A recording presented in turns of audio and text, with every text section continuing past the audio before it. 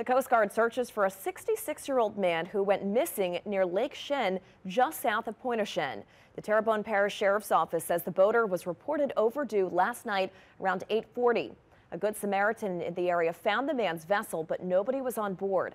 The Coast Guard has been searching from the air and asks anyone with information to contact the New Orleans Sector Command Center.